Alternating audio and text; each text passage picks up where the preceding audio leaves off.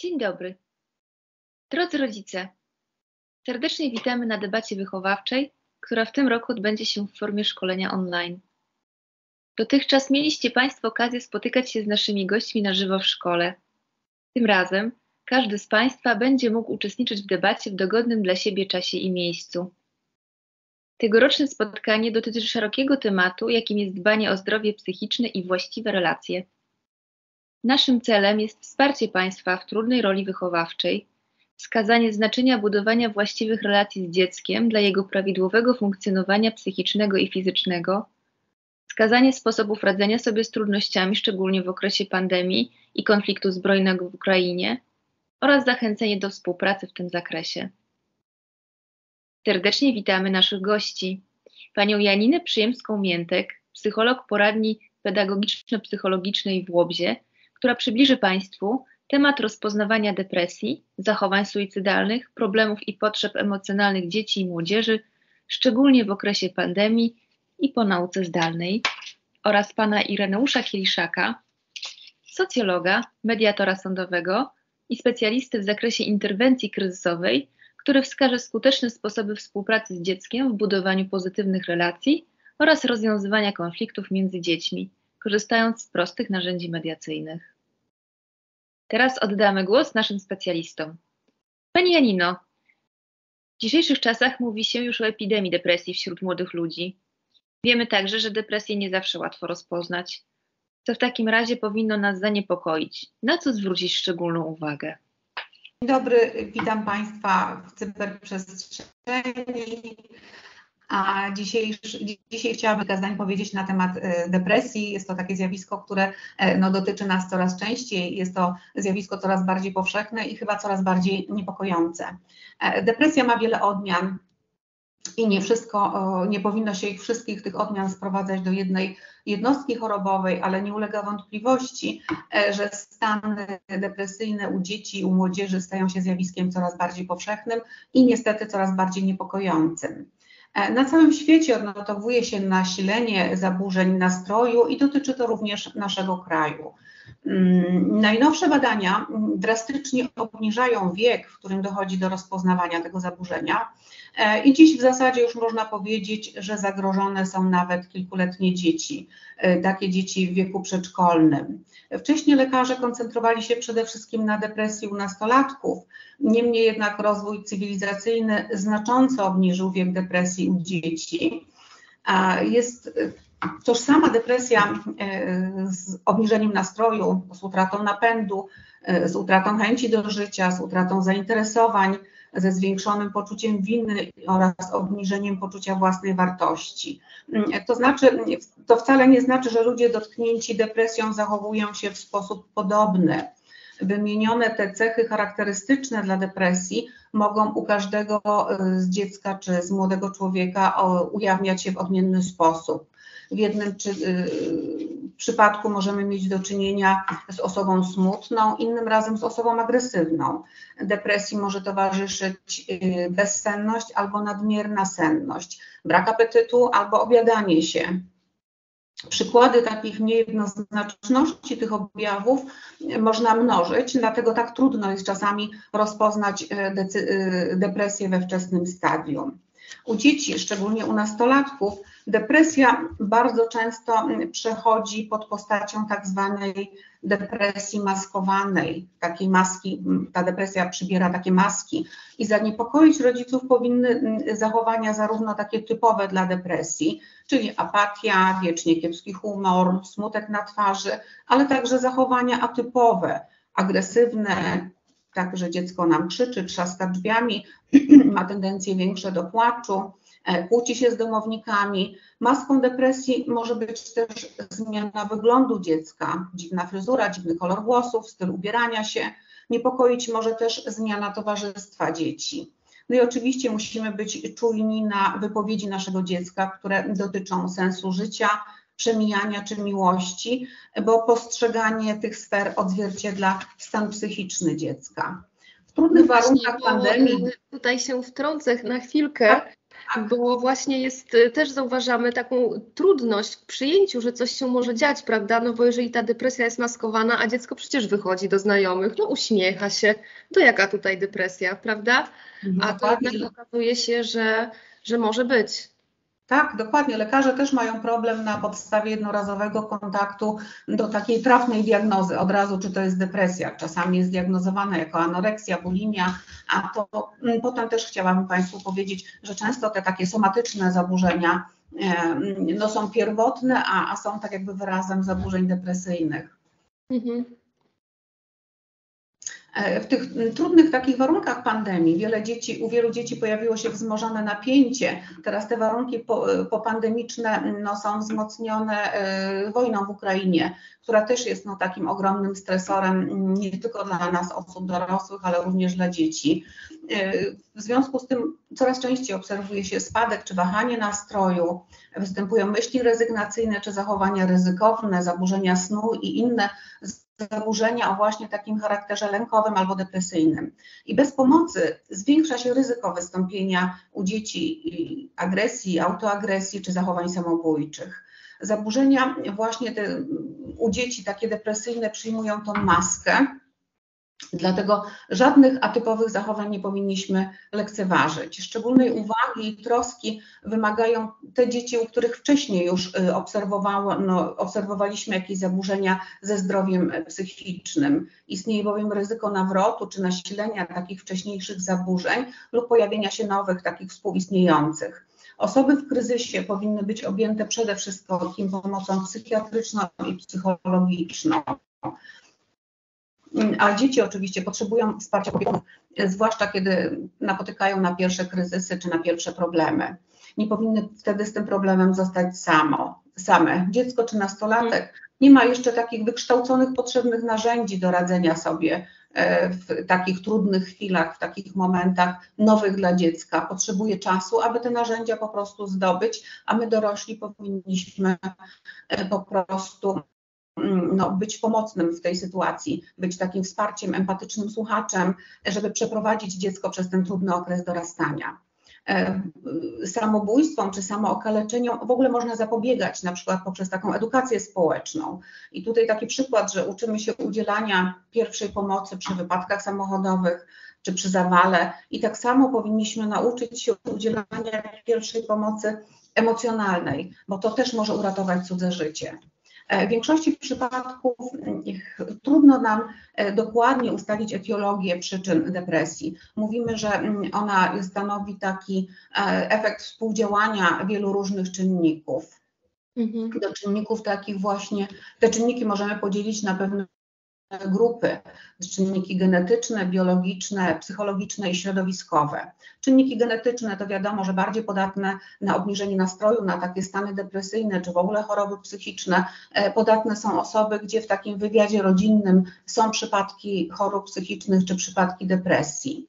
E, czynniki biologiczne to są zaburzenia i hormonalne i, i takie nieprawidłowe działania neuroprzekaźników w mózgu czynniki psychologiczne to przede wszystkim niska samoocena, te dzieci mają większe trudności, łatwiej popadają w stany depresyjne, niskie umiejętności społeczne, brak umiejętności radzenia sobie ze stresem.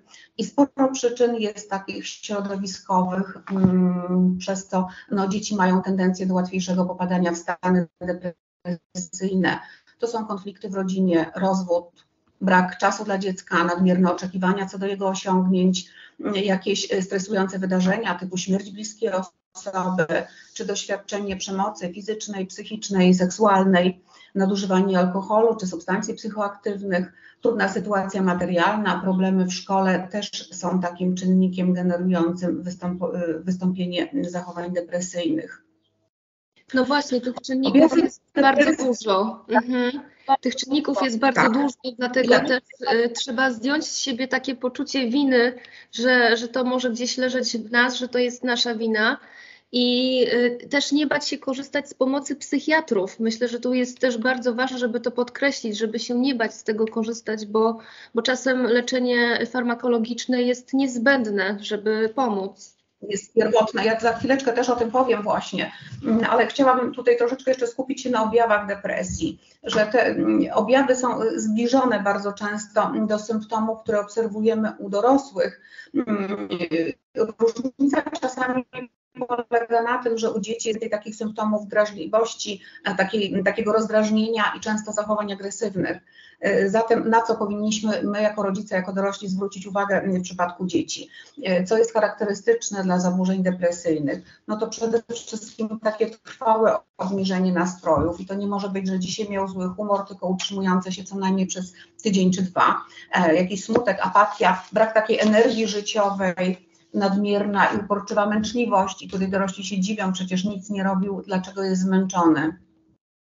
Chwiejność nastrojów, impulsywność, uczucie takiego niepokoju, y, przekonanie takie werbalizowane o bezsensowności życia, pesymistyczne spojrzenie na przyszłość, zaniżona, taka nieadekwatna samoocena. Często tam dzieci mówią: Jestem do niczego, jestem do bani, jestem głupia, nie wiem, czegoś nie potrafię zrobić taki nadmierny krytycyzm właśnie wobec siebie. Niechęć też zaczyna się do wykonywania codziennych obowiązków, uważając, że są bezsensowne, że są niecelowe. E, utrata oczywiście takich mm, zainteresowań i pasji, które wcześniej miały miejsce. Mm, bardzo często dochodzi też zaniedbanie w wyglądzie zewnętrznym.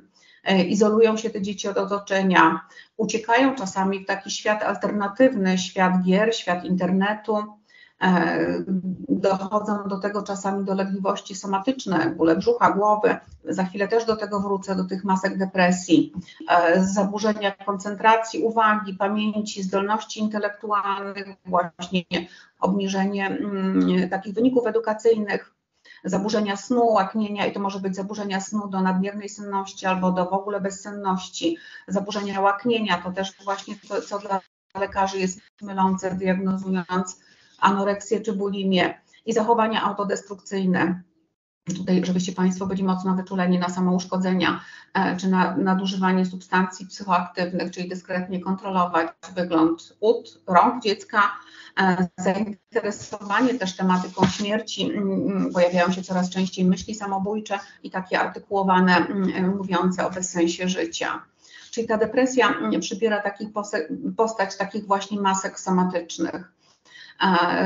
Często mm, te zaburzenia łaknienia, zaburzenia snu czy bóle głowy mogą się też manifestować fobiami, jakąś fobią szkolną czy zachowaniami takimi niszczycielskimi. E, maska depresji występuje przede wszystkim u osób takich niedojrzałych, e, w tym także dorosłych ze słabą zdolnością do autoanalizy i słabą taką samoświadomością. Maski pojawiają się dlaczego? W takich przypadkach, gdy otoczenie nie rozumie objawów depresji a ich ujawnie, za ich ujawnienie na przykład stosuje kary. Nie ma prawo dziecko mieć złego humoru, przecież ma wszystko, co tylko potrzeba i ma komputer i telefon chyba z najwyższej półki, natomiast cały czas jest w obniżonym nastroju, a nie ma do tego prawa. Te dolegliwości mm, y, fizyczne natomiast wywołują większe zaniepokojenie i współczucie dorosłych czyli uruchamiają jakby dodatkowe działania dorosłych, takie opiekuńcze, natomiast dolegliwości psychiczne powodują złość dorosłych i tak jakby niewłaściwe rozumienie sytuacji emocjonalnej dziecka.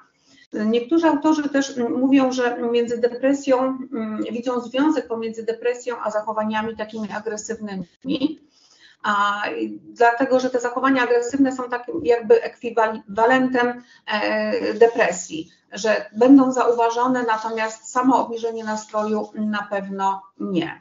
Mhm. Czyli ta depresja u dzieci i młodzieży może się objawiać w zupełnie różnorodny sposób, często bardzo odległy od takiego potocznego rozumienia zjawiska depresji. Ta apatia, zahamowania, próby samobójcze łatwo kojarzy, kojarzą się z przeżywaniem depresji. Natomiast już niewywiązywanie się z codziennych obowiązków, agresja, mm, takie nietypowe zachowania Mm, już nam się z tymi nie kojarzą z zaburzeniami depresyjnymi i przez taką nietypowość tych symptomów nawet Światowa Organizacja Zdrowia wprowadziła z pozoru zupełnie paradoksalne określenie depresja bez depresji. Na przykład taka depresja u dzieci w wieku 6 do 12 lat charakteryzuje się znacznym nasileniem objawów somatycznych. To przede wszystkim są różne dolegliwości somatyczne, uczucie słabości, zmęczenia, trudności z zasypianiem, zaburzenia apetytu, bóle głowy, brzucha. Obserwuje się też pewną apatię czy trudności z koncentracją uwagi, co ma przełożenie na wyniki w szkole. Dziecko samo nie wie, co mu dolega i czasami samo nie potrafi opisać takiego stanu swojego psychicznego. U dzieci, zwłaszcza tych młodszych w wieku szkolnym, często w obrazie mm, depresji dominuje niepokój, mm, objawiający się rozdrażnieniem, nadmierną aktywnością, bez na odpoczynku, na odpoczynek i dlatego też często lekarze mylnie stawiają diagnozę zamiast depresji, diagnozują dziecko, że to jest dziecko z zaburzeniami y, ADHD. Depresja jest takim poważnym zaburzeniem psychicznym i powinno, powinna być kompleksowo i rozpoznawana, diagnozowana i leczona.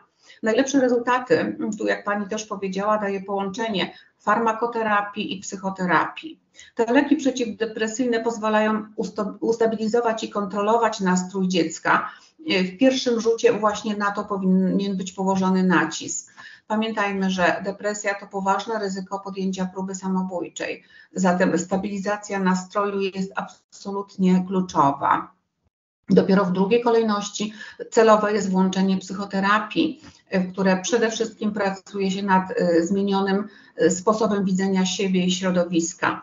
E, powinno się też pracować również z całą rodziną dziecka, żeby ta rodzina potrafiła być wsparciem właśnie w sytuacjach kryzysowych.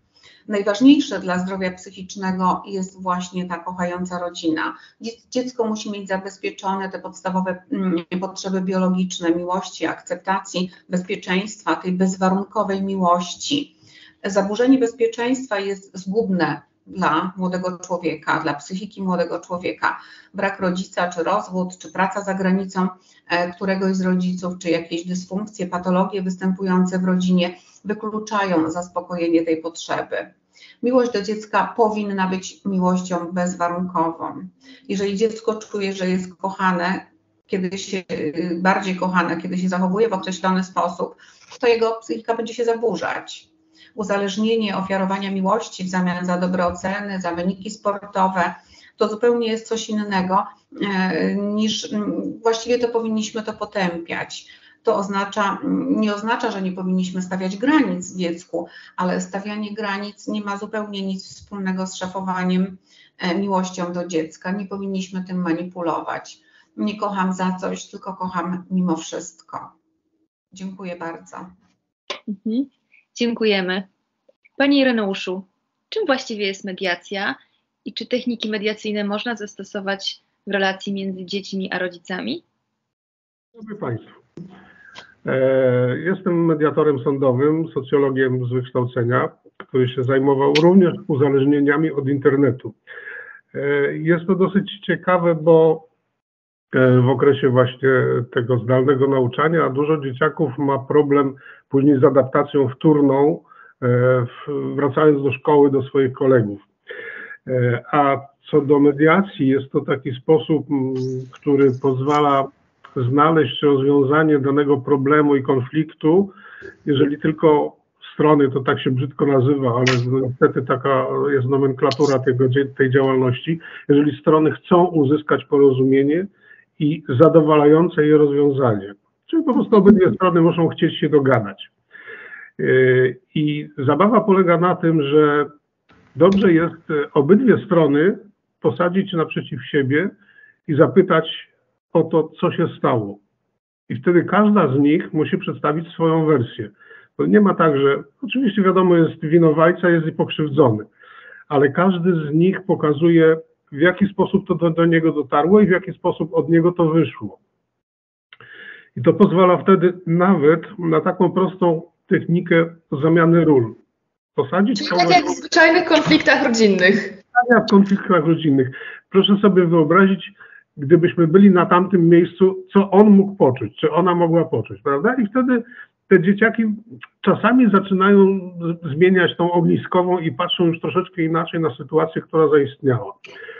To jest taka, taka najprostsza sprawa. Druga rzecz e, to też później dopytać się ich, co jest dla nich ważne w tym konflikcie. Czy na przykład to, żeby ktoś mnie przeprosił, albo żeby się więcej do mnie nie zbliżał, nie zaczepiał, albo żeby nie wiem, no, różne są rozwiązania, żeby na przykład e, pozwolić wygadać się tym ludziom przede wszystkim, tym młodym ludziom, którzy mają ten swój świat no troszeczkę jeszcze e, inaczej malowany niż my dorośli to wszystko widzimy. Dla nich wiele rzeczy czasami bywa czarno-białe, dla, nich, dla nas już są te odcienie szarości i to jest właśnie ten sposób na znalezienie tego rozwiązania. Jedną fajną też e, technikę, którą polecam Państwu, to już jest taka konsekwencja e, w zadawaniu pytań. Jeżeli któryś z tych dzieciaków unika odpowiedzi, to taka technika zdartej płyty, powtarzania do oporu tej, tego pytania, żeby no, doczekać się. No w końcu kiedyś musi pęknąć e, ta, ta upartość i ten człowiek będzie musiał powiedzieć, dlaczego tak się stało, a nie inaczej. Mhm. I to jest, to jest też właśnie takie dosyć ciekawe, e, bo e, mając mnóstwo sytuacji takich, gdzie właśnie rodzice, szczególnie młodzi rodzice przychodzili do mnie, e, tu akurat w takich sytuacjach no, mało komfortowych, kiedy się rozchodzili między sobą, ale dziecko było e, między nimi i ci, ci Państwo zazwyczaj nie chcieli odpowiadać właśnie, co jest dla nich ważne. I wtedy, stosując tą, tą technikę tej zdartej płyty, dochodziło do tego, że okazywało się, że oni mimo wszystko jednak no, cenią to dziecko, bo tu generalnie chodziło mi o interes dziecka, e, żeby tego dziecka nie skrzywdzić. Tak samo tu przy mediacjach też nie możemy wchodzić za głęboko w to, jakie były przyczyny takiego postępowania, tylko coś, co ta osoba chciała osiągnąć tu i teraz. Nie wcześniej, że gdzieś tam był, nie wiem, przezywany przez innych i teraz się odgrywa, tylko dlaczego tu i teraz. Jest jeszcze też taka, no ja to cały czas będę nazywał technikami, ale mhm. sposób na, mm, na to, by się nie zgodzić z, ze zdaniem, z opinią, powiedzmy, tej strony takiej bardziej agresywnej. Ja to nazywam takie umiejętne zaprzeczenie. Jeżeli ktoś mi mówi, że coś jest no, według niego takie albo takie, że to jest czarne albo białe, ja zazwyczaj y, mówię, być może masz rację, ale ja mam inne zdanie. To jest, nie jest zaprzeczenie, ale pokazanie, że ja również mogę na ten sam punkt mieć inne widzenie, inne spojrzenie. No to są takie proste rzeczy. Przede wszystkim no, dobrze jest też, żebyście Państwo jako rodzice wiedzieli, mm, co dziecka motywuje. Czy do mhm. działania, czy do, czy do nauki, czy cokolwiek. Czy ono ma taką wewnętrzną motywację, czyli jest takim typowym introwertykiem, czy, czy na przykład jest osobą, która lubi konkurencję, musi być lepsza od innych, czyli te działania są ekstrawertyczne, on musi pokazać innym, że, to, że on potrafi albo coś w tym rodzaju. To samo się dzieje w takich sytuacjach kryzysowych. Jeżeli dziecko jest wpływowe, czyli właśnie typowy ekstrawerty, którym można sterować i, i nadawać mu jakiś e, kierunek działania, to wtedy pokazać mu, że są lepsze sytuacje, są lepsi ludzie i warto tamtych bardziej naśladować niż tych, przepraszam, niż tych, którzy no, no nie są powiedzmy godni naśladowania. Mhm. Ale przy takich wewnętrznych motywacjach kierować się do niego, jak ty byś zrobił, co by było dla ciebie dobre. Czy na pewno chciałbyś tak robić? To są takie proste rzeczy, ale pozwalają nam na też na, na, na jakby wejście w sytuację tego dziecka, które no, konfliktuje się z jakichś powodów, albo chce być zauważony, czyli właśnie mieć tą, tą możliwość e, bycia troszeczkę wyżej, albo też nawet na zasadzie takiej obrony, że dajcie mi święty spokój, ja sobie gdzieś tam idę, a jakby coś to przyłożę i odejdę. Nie? To takie, takie mogą być sytuacje. No, mówię, mediacja jest dopiero wtedy, kiedy jest konflikt. I to jest czasami, e, niektórzy mówią, że to jest takie ratowanie, takie rzucanie koła ratunkowego. Ja uważam, że, że to jest takie rzeczywiście wysłuchanie obu stron i pozwolenie im na wspólne znalezienie rozwiązania, gdzie rezygnuje się ze swoich pewnych oczekiwań, że ktoś by chciał, nie wiem, zwrotu jakichś tam kosztów i tak dalej, może się okazać, że te koszty można pokryć w inny sposób. Można odpracować, można, nie wiem, dać korepetycje, cokolwiek innego. Czyli po prostu pomagać nie w standardowy taki sposób, że ja coś zepsułem, zniszczyłem, to muszę naprawić. Nie, ja mogę na przykład pomóc w jakiś inny sposób. To są te sposoby rozwiązywania konfliktów, mhm. które wychodzą w trakcie pracy, bo się okazuje, że no ktoś jest dobry w tym, ktoś jest dobry w tamtym i może rzeczywiście była taka sytuacja emocjonalna, gdzie te dzieciaki poniosło, a później się okaże, że czasami wstydzi się wyciągnąć tą rękę i powiedzieć przepraszam cię. A bywa tak, że, że wystarczy to proste przepraszam i ta druga strona też mówi, no dobra, okej, okay, przegiąłeś, ale, ale że jest okay. i nie róbmy tak więcej. I to są takie sytuacje najprostsze, e, które się spotyka w mediacji. E, ale takie, też służą nawiązaniu relacji najzwyczajniej w świecie pomiędzy stronami, tak? Czyli tak jak tutaj mamy do czynienia rodzic, dziecko po prostu. Oczywiście. Okazuje się, że nawet e, ktoś z moich chyba wykładowców mówił, że zarządzanie konfliktem jest czasami bardziej cenne niż zarządzanie przez konflikt. Czyli nie, nie tworzenie konfliktu, a znalezienie rozwiązania tego konfliktu. Ja tu akurat też mam taką propozycję dla Państwa, książeczkę, która e, mówi o mm, przygotowaniu młodych ludzi do roli mediatora. E, fajna rzecz, bo to już jest, można od praktycznie 12-13 roku życia przygotowywać takich młodych ludzi do bycia tą osobą godną zaufania, ale też takim pośrednikiem między y, właściwie w klasie, nawet w szkole, bo mogą być to grupy takie mediacyjne, które się przygotuje. W tej książce są zawarte fajne rzeczy, bo tam są już i warsztaty, i ćwiczenia, które ta, ta młodzież ma wykonać, a na pewno warto w szkołach, kiedyś moja koleżanka z Wrocławia prowadziła taki e, cykl szkoleń, e, właśnie mediacji szkolnych i rówieśniczych. Polecam może jeszcze gdzieś jest pani Ewa Wolny e, i Wolny czy Wolniak. Nie powiem teraz dokładnie, bo już kupę lat żeśmy się nie widzieli, to gdzieś mi to może wyleciało, ale polecam e, godne uwagi właśnie, szczególnie dla pedagogów, dla psychologów szkolnych, e, dla rodziców również, bo, bo, bo są to rzeczy, które jeżeli mamy więcej niż to jedno maleństwo w domu, które nam tam doskwiera czasami humorami, to jeżeli jest powiedzmy kilku E, kilkudzietna rodzina, no to wtedy warto wiedzieć, jak z takimi dzieciakami postępować. Mhm. E, Panie Reneuszu, bo e, tutaj w szkole najczęściej teraz spotykamy się z problemami właśnie depresji, uzależnień behawioralnych, czyli sieci internetu. Jeśli chodzi o depresję, tutaj na pewno y, pani psycholog nam y, więcej opowie, ale mamy pytanie, czy też pan się właśnie w swojej pracy spotykał z uzależnieniami od internetu i jak to wygląda i co tutaj rodzice y, mogą zrobić, jak pomóc dziecku? Tak, tak. Spotykałem się z tym zjawiskiem uzależnienia od, od internetu i powiem Państwu, że robiąc badania na przełomie 2000-2001, średnia osób, która miała tendencję do uzależnienia się od internetu, wynosiła mm, między chyba 18 a 30 lat.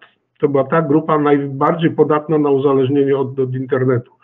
Obecnie, kiedy sprawdzałem podobne źródła, ta średnia wieku spadła poniżej 12 lat. Mhm. Czyli to już jest y, duży problem. Przede wszystkim y, ja mogę podać na przykładzie swoich dzieci, które hmm? mają już swoje dzieci i wiem, jak postępują z nimi. To są już nastolatkowie, e, a zasada jest bardzo prosta, że telefon służy do rozmów, do gry mamy określony czas, tak samo komputer, albo szukamy informacji, żeby znaleźć ją i wypracować sobie, nie wiem, zadanie domowe zrobić. Kwestia potem kontaktów na, na, na tych wszystkich e,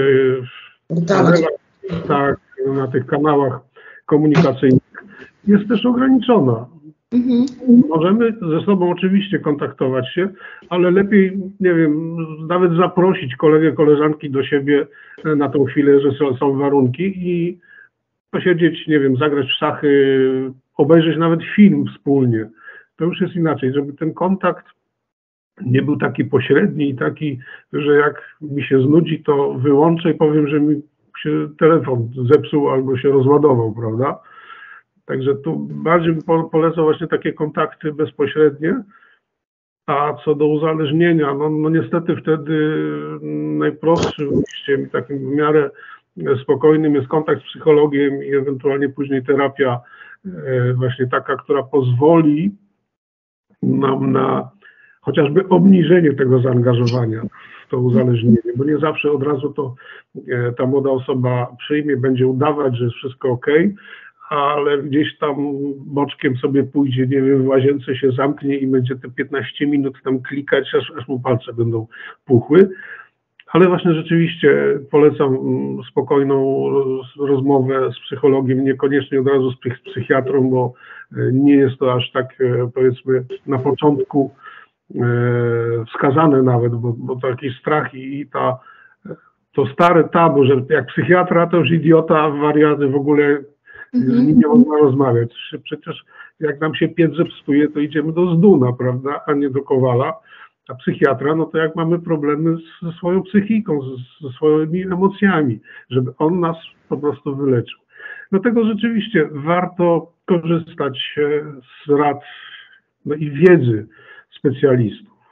Także tu z tym uzależnieniem od internetu właśnie polecam taką prostszą najpierw drogą psychologiem, sposób w jaki sposób dziecko reaguje na, na, na przykład na, może nie nawet na odebranie e, czy zakaz, ale na pewne ograniczenia w korzystaniu z sieci, bo to, to, to jest taki, no niestety zdradliwy, e, zdradliwe medium, które potrafi wciągnąć, człowiek sobie zbuduje własny świat, w którym on jest takim, jaki chce, żeby go widziano, a nie takim, jakim jest naprawdę. Prawda? To nie o to chodzi. Także w ten sposób polecam takie E, najprostsze rozwiązania. E, proszę Państwa, ostatni etap e, zdalnego nauczania rzeczywiście naszym dzieciom wyrządził dużo krzywdy. Krzywdy takiej rzeczywiście psychicznej, gdzie dziecko, które siedzi samo przed monitorem, ono jest cały czas samo. Nie ma kontaktu. Nawet jeżeli słyszy nauczyciela, kolegów, którzy odpowiadają, to ono w tym pokoju jest samo. Proszę Państwa, największą karą dla każdego człowieka jest izolacja. Mhm. Proszę, proszę sobie wyobrazić jakiekolwiek więzienie, już nawet nie mówię obecne, ale wcześniejsze, gdzie największą karą był karcer, czyli izolatka od całej reszty społeczeństwa, nawet tego więziennego. To jest dla człowieka, człowiek to jest taka istota społeczna, jak ja mówię homo socius.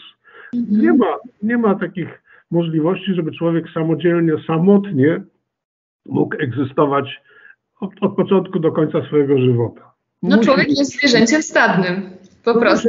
Mówię, ten klasyczny homo socius, czyli ten człowiek społeczny, który e, relacje i swoje emocjonalne i otoczenia buduje na wymianie i na kontakcie z drugim człowiekiem i z grupą ludzi. Także to, e, co teraz nam ta nauka zdalna naszym dzieciom E, wypaczyła, będziemy prostować przez najbliższe, ja podejrzewam 2-3 lata, zanim te dzieciaki zobaczą, że jednak ten kontakt bezpośredni, to wyskoczenie do parku, przywitanie się, cokolwiek e, by tam się, się nie działo, jest o wiele cenniejsze, o wiele przyjemniejsze niż siedzenie przed, przy monitorze. No i tak naprawdę teraz dopiero mamy wysyp efektów zdalnego nauczania i też nasi rodzice na pewno zauważają te, te różnice, które właśnie teraz się pojawiły, tak? I one są zdecydowanie efektem tych ostatnich dwóch lat. Zgadza się. Ja pracując e, w Regionalnym Centrum Kryzysowym miałem e, możliwość zaobserwowania takich sytuacji, gdzie dzieci przy konieczności odejścia od komputera dostawały wręcz szału, E, groziły samobójstwem, okaleczeniem się i rodzice, którzy byli powiedzmy mniej konsekwentni i mniej jakby zaangażowani w to, żeby więcej czasu poświęcić temu dziecku, ulegali. Ten dzieciak dostawał z powrotem tą swoją zabawkę, zamykał się w swoim świecie i w tej chwili już dla niego rozmowa z psychologiem byłaby bardzo skromna i tu już by wchodził w układ e, terapeutyczny, gdzie trzeba byłoby się z psychiatrą spotkać, z terapeutą i wtedy zaproponować jakiś cykl terapii, która pozwoli temu młodemu człowiekowi wrócić do społeczeństwa, wrócić, bo on praktycznie został no, poza, poza społecznością. Mhm. Są takie krytyczne sytuacje i no, polecam większą uwagę, przede wszystkim też angażowanie dzieci w jakieś domowe nawet e, zajęcia, typa teraz przed świętami są cudowne okazje, żeby, nie wiem, iść na zakupy, pomóc w sprzątaniu, no, wyprowadzić psa, cokolwiek. Także warto, warto dzieciaki angażować, no i też być z nimi, rozmawiać, pytać, co one chcą, czego oczekują. No najważniejszą rolę spełnią rodzice tutaj, tak? Tak, zgadza się. Jak kiedyś, kiedyś e, za naszych czasów, znaczy za moich czasów było tak, że e, szkoła wychowuje i uczy, to w tej chwili raczej tylko uczy, a wychowuje nadal jednak rodzina i rodzice. Także pamiętajmy o tym, że szkoła już nie wychowuje. Szkoła uczy, przekazuje wiedzę, owszem, w pewnej formie takiej przyjacielskiej i to jest najfajniejsze, ale samo wychowanie i nabycie pewnych cech takich mm, osobowościowych, społecznych, to już jest rola rodziców i najbliższych. Polecam jednak dużo, dużo więcej czasu spędzać e, z dziećmi i naprawdę pytać, co ich i, cieszyć się z nimi każdą ich e, nagrodą, każdym ich e, postępem, czy w nauce, czy w zabawie, czy w towarzyskich jakichś kontaktach. To jest naprawdę bardzo fajna rzecz, kiedy jest więcej pochwał niż nagron. Bo wychowanie przez karanie to, to już jest historia, tego już mhm. nie powinniśmy w ogóle o tym mówić. Teraz uważność się liczy chyba przede wszystkim, tak? tak. To szczególnie jej brakuje w tych czasach. I myślę, że to taka ładna puenta na koniec, że po prostu więcej uważności.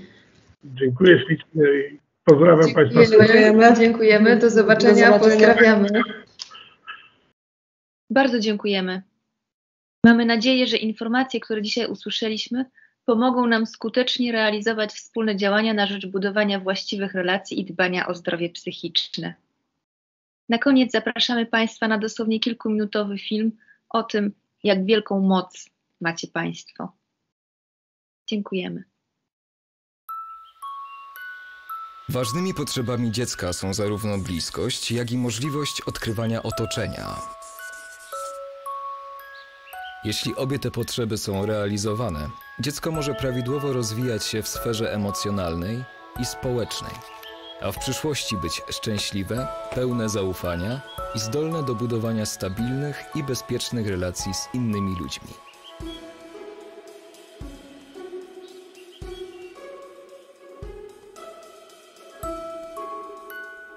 Oto Robert.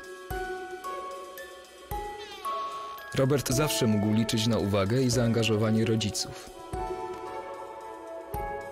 Czuł ich bliskość i wsparcie, gdy przeżywał różne emocje.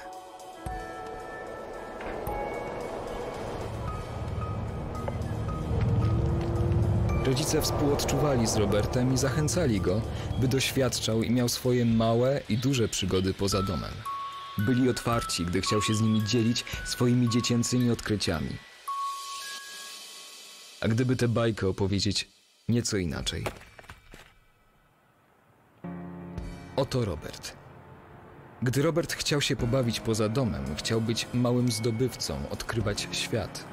Jego mama robiła się smutna i wystraszona. Czasami mówiła wprost: Nie dotykaj, bo się ubrudzisz, uderzysz, spocisz, rozchorujesz. A czasami Robert widział jej minę, gest, zmianę nastroju.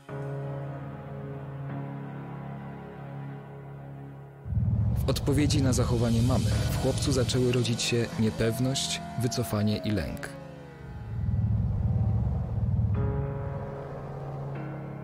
A gdyby opowiedzieć to tak. Oto Robert. Jego tata często nie reagował w chwilach, gdy Robert potrzebował jego bliskości i uwagi, gdy chciał się podzielić swoim zachwytem, dumą i zainteresowaniem.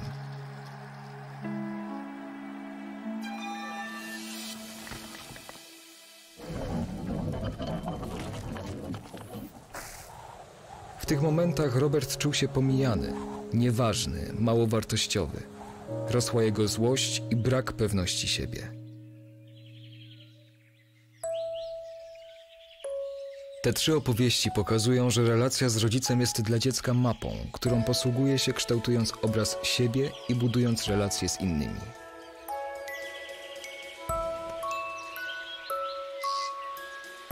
Twoja adekwatna obecność oraz dostępność emocjonalna w życiu dziecka pomaga mu nabrać pewności, że poradzi sobie w świecie. a kiedy będzie potrzebowało, zwróci się do kogoś o pomoc.